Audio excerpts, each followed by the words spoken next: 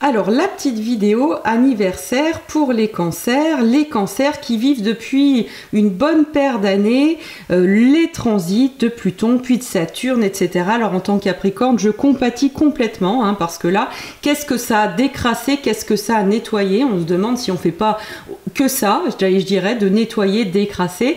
Mais là, ça porte ses fruits, hein, ça arrive à la fin, ici en Capricorne, donc forcément euh, en opposition à la fin du cancer.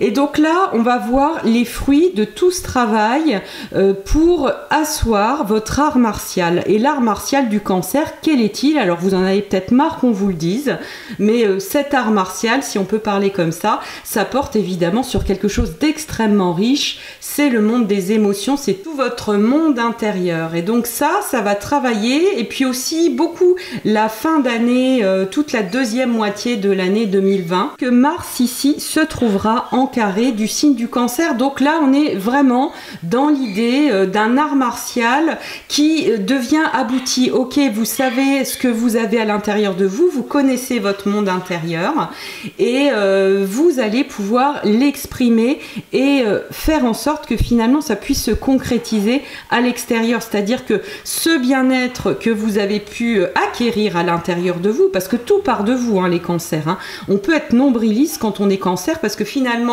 euh, avec ce signe-là, eh bien, à partir du moment où vous travaillez sur votre bien-être intérieur, euh, ça a des effets absolument incroyables sur le bien-être de tous autour de vous.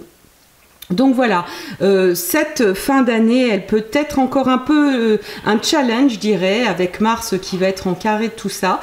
Et puis une fois qu'on aura bien compris, une fois que vous euh, serez bien dedans, bien dans la confiance dans votre pouvoir, dans le pouvoir de vos émotions, euh, là ça va dépoter. Donc c'est vraiment euh, la promesse de cette année, surtout que votre année astrologique, elle démarre avec une éclipse. Vous voyez ici, le soleil est vraiment entré le jour, bah, le premier jour de l'été, pile le jour de la nouvelle lune. Donc c'était assez fabuleux.